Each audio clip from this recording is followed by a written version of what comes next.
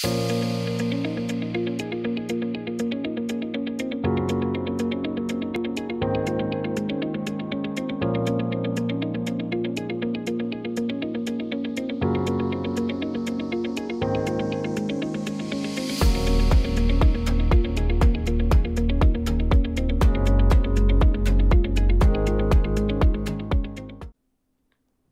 to the lecture 7 of the course Marine Propulsion.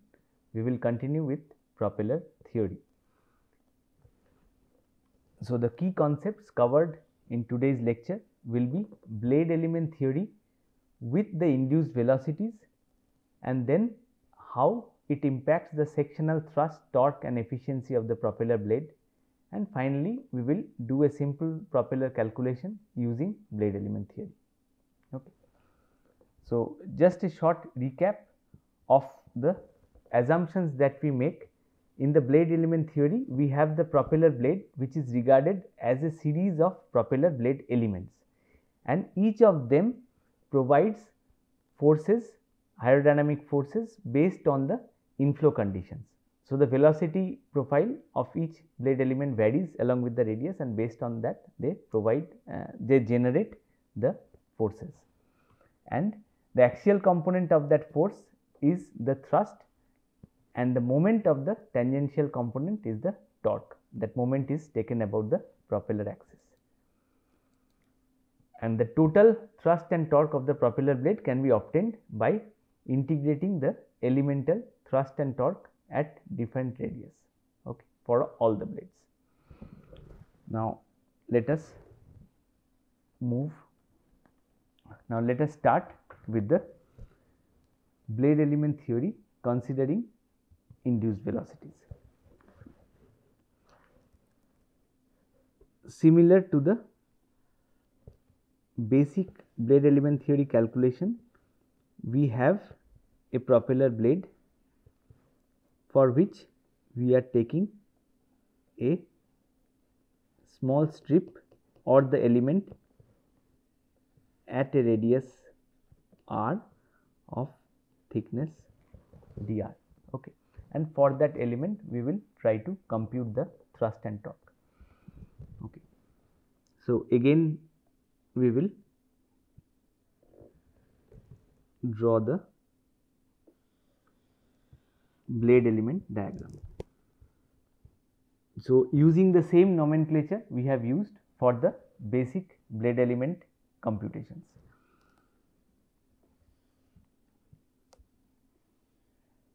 So, this is the blade element which is having an angle phi with the horizontal and that is defining the face pitch angle of the propeller blade at the radius at which we have taken the element. Okay. And we have the two velocities VA and 2 pi Rn.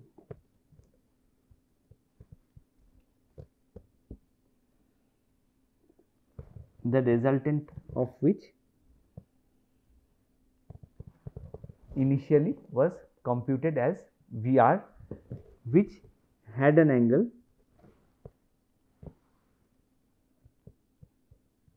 beta with the horizontal. Okay. So, here in the initial calculations we did not assume any induced velocities. The meaning was that if the propeller is rotating it is moving ahead with a velocity Va and rotating at n rps which is giving the tangential velocity at the radius small r equal to 2 pi r n. So, we had only the two components, but net, let us now go to the realistic scenario.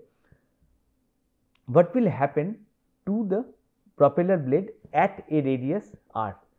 Let us think of the fluid particle which is around the propeller blade at the radius r. Now, as the propeller blade rotates and also moves ahead, the fluid particle will have a relative velocity with respect to the propeller blade which is Va which is the velocity of advance of the propeller blade as the blade is moving ahead and as the blade is rotating the relative velocity in the other direction will be 2 pi rn but the propeller not only moves ahead but also induces a velocity to the fluid because of its action because the propeller blade generates a pressure difference. So, it also induces a velocity as we have seen in the momentum theory. Here we have not initially considered the induced velocities in the original derivation in the last class. So, if we think of the induced velocities, what will be the final velocity that will come in this blade element diagram. Now, Va is the velocity or, or the speed of advance of the propeller blade. Now, as the propeller blade is advancing, it is also inducing a velocity to the flow due to the suction effect. So, the fluid velocity with respect to the propeller blade is more than Va because Va is the original velocity of advance plus the induction component plus the induced velocities which comes as the propeller is advancing in the fluid, right. Now, what happens to the rotational component? As the propeller blade rotates at any radius r, the relative velocity with respect to the fluid particle was 2 pi r n because of the rotational speed n. Now, if we think of the induced velocities as the propeller rotates it will also induce a velocity to the fluid particle in that direction okay now initially think of let us say as we have drawn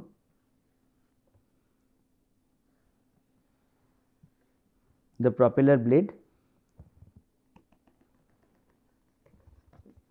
It is rotating and we are taking a point here okay?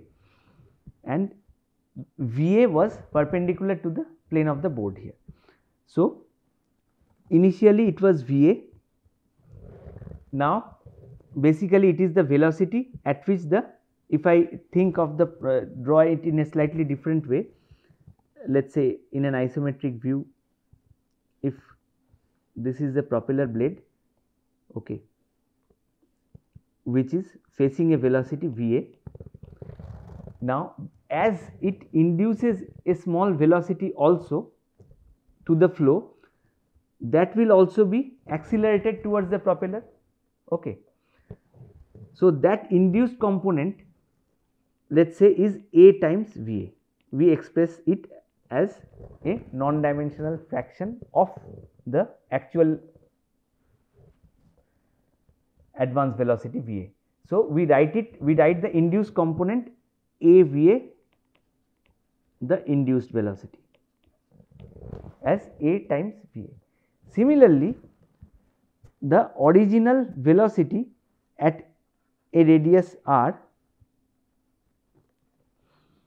due to the rotational component was 2 pi r n right.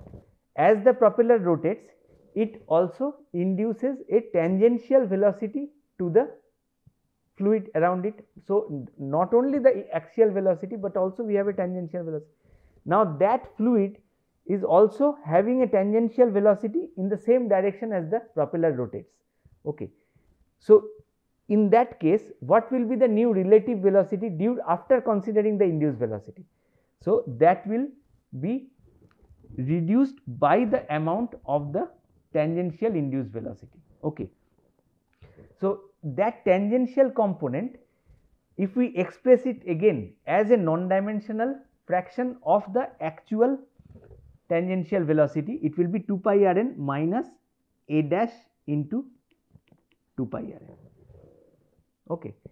So, the effect of induced velocities is different in the total calculation of the axial and the tangential component. In the axial case because the propeller accelerates the flow the induced velocities will result in a higher velocity component which is adding to the axial velocity or the velocity of advance. So, the total will be so the axial part will be V A plus A V A okay, which is V A into 1 plus A. But for the rotational part when we consider the tangential velocity the fluid particle now has a relative velocity of 2 pi r n minus a dash times 2 pi r n where a dash is due to the induced tangential velocity at that point. Okay. So, the resultant now velocity in the tangential direction will be 2 pi r n minus a dash into 2 pi r n which is basically 2 pi r n into 1 minus a dash. Okay. Let us try to understand the propeller velocity triangle with the induced velocities with the help of a model propeller. Okay. So, I again have a model propeller where we will try to understand how the velocity pattern on a propeller blade section look like in the velocity diagram.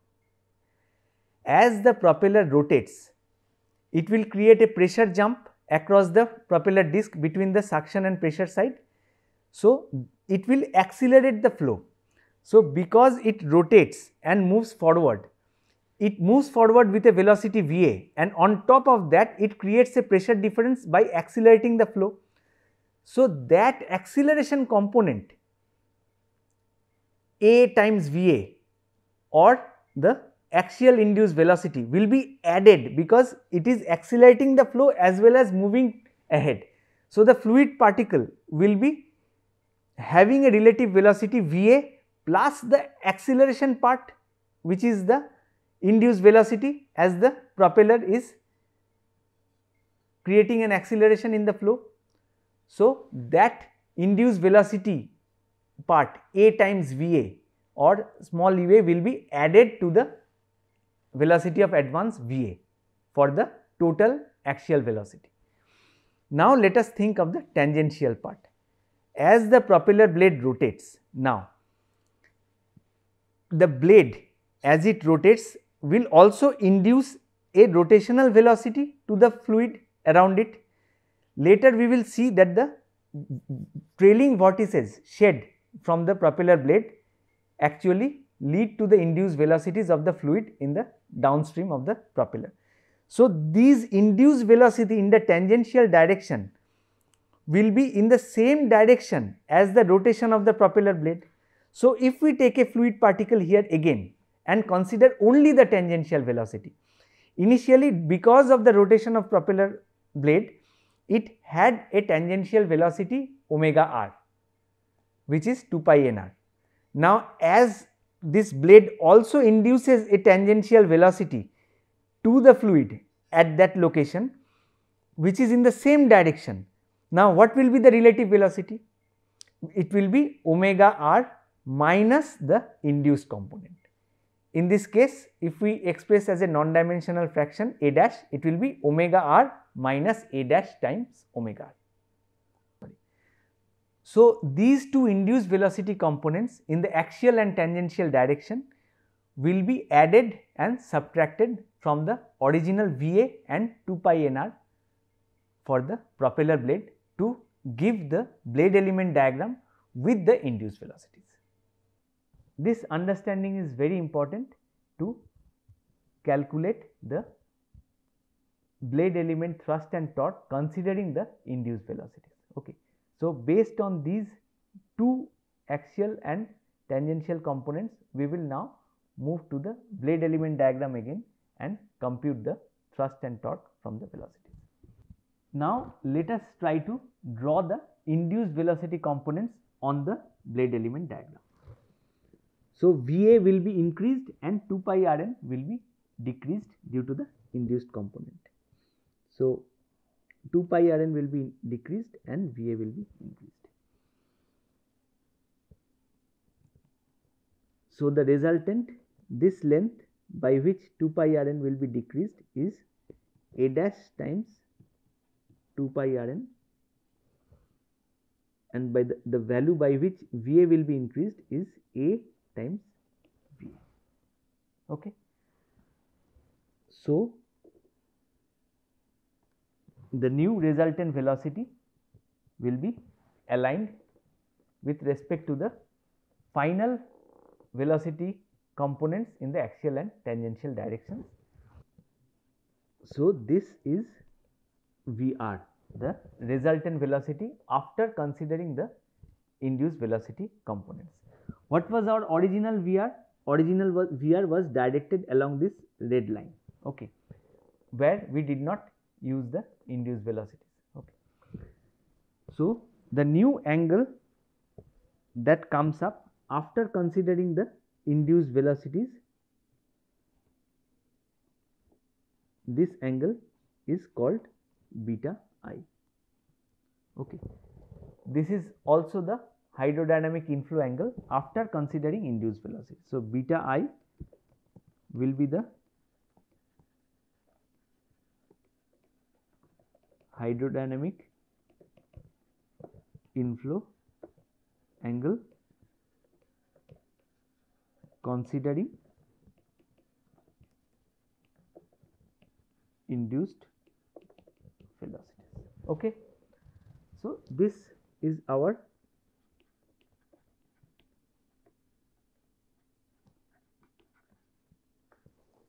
velocity part of the blade element diagram and let us now concentrate on the force part. Now, what has changed here? Instead of the old resultant velocity along the red line, we have the resultant velocity along the new VR with an angle beta i. So, the new thrust and torque forces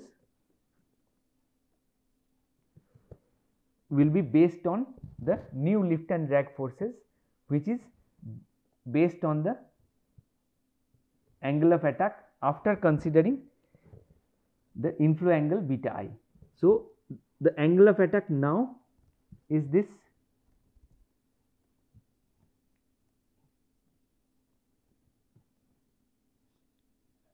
alpha okay so alpha equal to phi minus beta i okay based on this we will draw the sectional lift and drag forces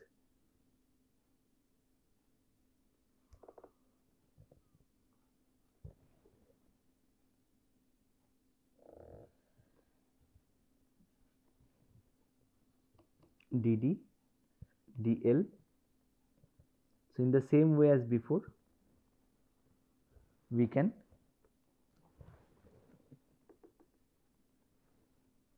compute the sectional thrust and torque dt by z again why z because the propeller has z number of blades. So, if dt is the thrust produced at by a blade element over the entire propeller blade across the entire propeller covering all the Z blades then for each blade element for one single blade it will be dt by z. Similarly, this will be dq by rz as before right. So, what are the angles now? Here this angle and this one are both beta i instead of beta. Okay.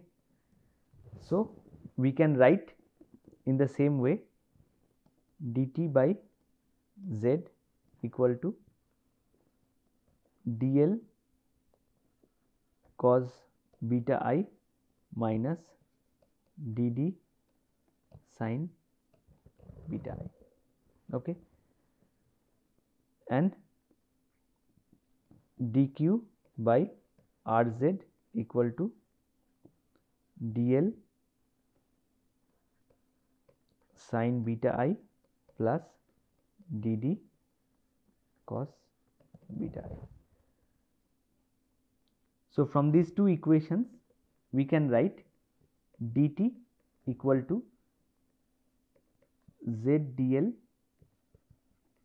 cos beta i 1 minus tan beta i tan gamma where tan gamma is the ratio of the sectional drag and lift force and dq equal to rz dl cos beta i tan beta i plus Okay. Now, from these sectional thrust and torque, we will compute the efficiency of the propeller blade section. Efficiency is given by thrust into velocity of advance by 2 pi n into the torque. Okay. So, everything with a d here because we are computing the efficiency of the propeller blade section. Okay. So, eta will be V a by 2 pi n into this dt by dq. So, z dl cos beta i cancels out we have only the tan part and r.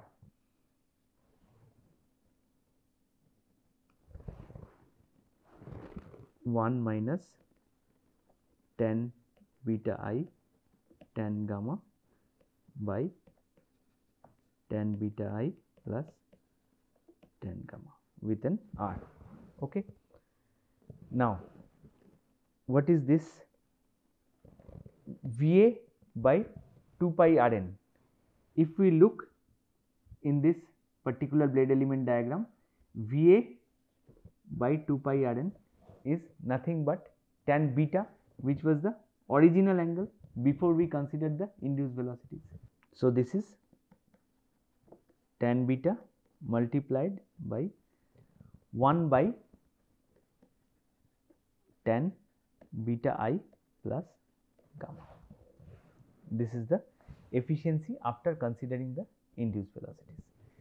Now, we can simplify this in a way we can write this as tan beta by tan beta i into tan beta i by tan beta i plus gamma. Why are we doing this?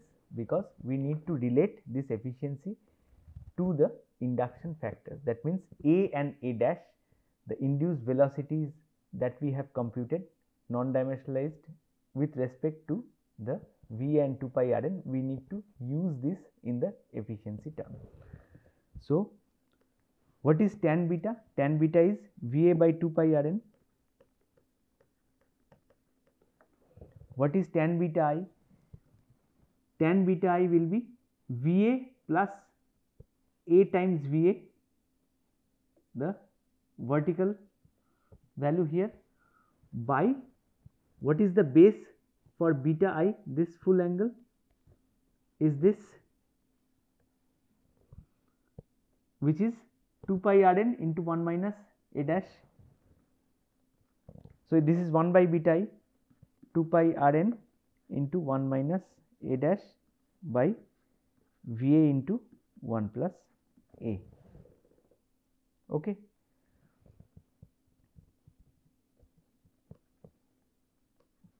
Into tan beta i by tan beta i plus gamma. Okay. What do we have finally from this? Efficiency will be equal to V and 2 pi r n cancels out 1 minus a dash by 1 plus a into tan beta i by tan beta i plus gamma. Okay. So, what is the difference with the case where we did not consider the induced velocities? Instead of beta, we have beta i the hydrodynamic inflow angle after considering induced velocity and we have these terms A and A dash which are coming due to the induced velocities. Now, if we look into the efficiency term very simply the efficiency is a multiplication of three components. 1 minus a dash multiplied by 1 by 1 plus a multiplied by tan beta i by tan beta i plus gamma right. So, we have this first component, second component, third component. Now, if again we consider drag equal to 0, then this component will become 1. That means gamma will be 0 and this part will be 1 if we neglect drag, but still we have the component due to the induced velocities. So, this is the part coming due to drag, this is the axial and this is the tangential induced velocities both of them. So, these three parts in total give the efficiency of the blade element. Is if we do not consider any tangential induced velocity and think of only the axial part, then this a dash will be 0, then this part will become 1 and also if we neglect drag then this part will also become 1. Then eta will be 1 by 1 plus a which is the same value we had obtained from the simple axial momentum theory. Okay. So, if we consider the axial momentum theory with the rotation, we have the combination of the axial and tangential and if we consider drag on top of that, we will get the three components of the efficiency of the blade element. So, this is the efficiency of the blade element. Okay. So, let us say we can write like this. And if we compare with the other efficiency that we had obtained neglecting the induced velocities, in that case both in the previous condition both A was 0 as well as A dash was 0. So, both these parts were 1, we only had the effect of the drag. Okay. So, we will see that all these components will bring down the efficiency from the ideal value of 1 to a realistic value. Okay. Still there are some assumptions which we have used here for example, at a particular radius the, we have assumed that there is no variation of the uh, force or the velocity in the circumferential direction. Also there are certain other assumptions this is a very simplistic theory. So, this as of now this forms the basis of the circulation theory, but this cannot be directly used for realistic uh, propeller calculations yet. But this gives an estimation of the uh, blade element efficiencies as well as the thrust and torque and we can do simple calculations based on the velocities to get the thrust and torque of the propeller blade element and compute the total value for the propeller blade. Look into a simple problem of blade element theory which we can do using the equations that we have just framed. So, the given parameters here are the propeller diameter, pitch ratio number of blades Z, advance speed RPM. So, the both the geometry as well as the operational values are given and on top of that some blade section characteristics are given like chord, lift coefficient, drag coefficient etc. Okay. And finally, we are asked to calculate the thrust, torque and efficiency of the propeller. Okay.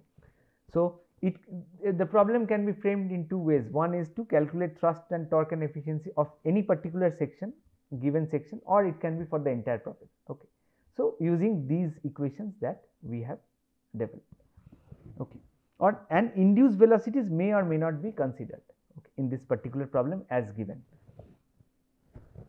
so if we go back from the input values we have va given n given for the propeller blade from which we can obtain the velocities at any section. Okay. So, at any radial section we can calculate Va is already given and 2 pi Rn in the velocity diagram we can calculate. So, from that we will get the value of beta right. if the induction factors A and A dash are given. If A and A dash are additionally given from that we will be able to calculate the beta i. If they are not given we will not take that into account in this problem. Okay. What else? We have to calculate the blade pitch angle. Because to get the thrust and torque we have to calculate the angle of attack. And angle of attack is nothing but phi minus beta. So, phi is given by p by 2 pi r. Right? That we have seen from propeller geometry. Now, in this problem p by d is given. Let us divide both by d. D is 2 into radius okay 2 r. So this becomes p by d by pi into r by r. Okay. So this r by r is sometimes expressed as x which is basically the non dimensional radius non dimensional radius. That means let us say at a value of r by r equal to 0.7 okay or r equal to 0.7 radius. If we want to calculate the thrust and torque we can use this r by r value and the given p by d value which is given in the problem pitch ratio to calculate the phi okay. And now we can calculate the alpha the angle of attack as phi minus beta which was already calculated here okay. Now, the sectional characteristics of the propeller blade are given in terms of the lift and drag. So, it can be given in many ways for example, the lift curve slope if it is given typically the as we have seen the CL versus alpha looks like this. Okay.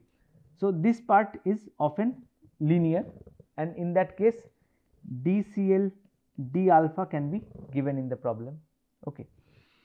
And we know that the lift coefficient cl is 0 at a negative angle of attack which we call the alpha 0 okay.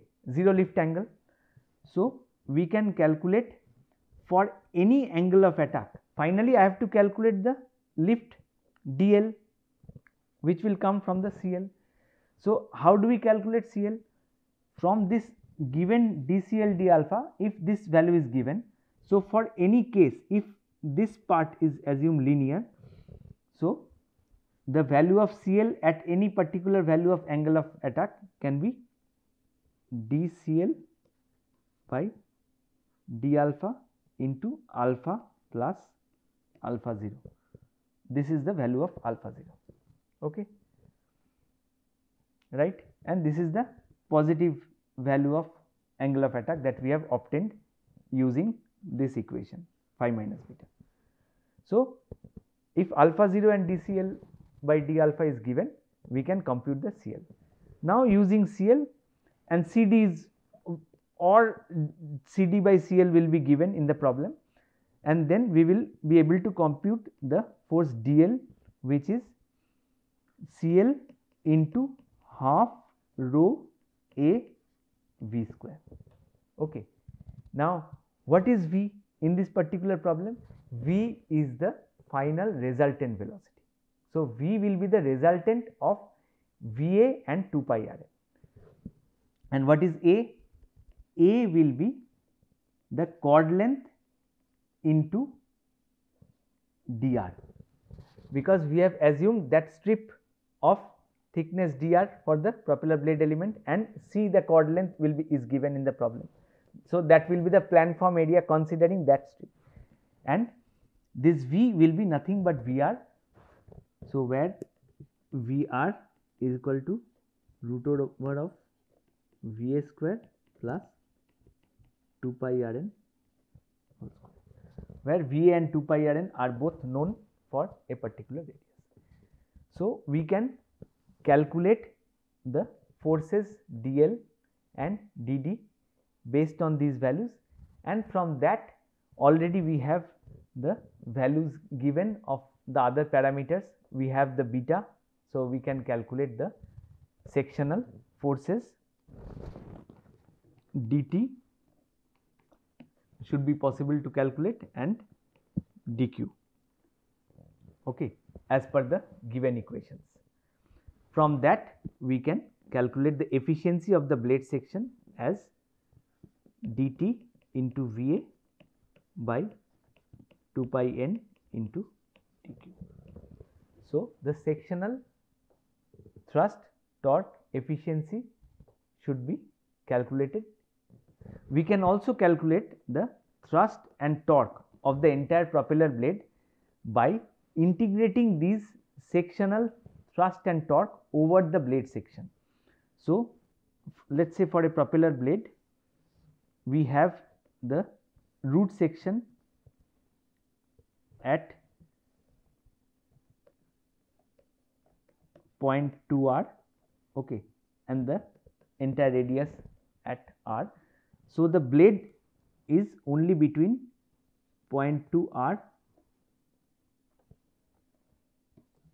to r. So, if we integrate the values of thrust and torque between two values between the root of the propeller blade and the tip we should be able to calculate the thrust and torque of the propeller blade. And any numerical integration technique can be used to once we get the uh, thrust and torque of the blade elements we should be able to calculate the thrust and torque of the entire propeller blade. Okay. And finally the efficiency of the entire propeller in the same way just like this equation instead of dt we can use the values of t and q so va into t by 2 pi n into q for the entire propeller t and q as we have calculated here already after integration we can use that to compute the efficiency of the propeller blade. Okay. This is how we can use simple blade element theory equations to calculate the propeller thrust and torque using the elemental thrust and torque values and efficiency. Okay.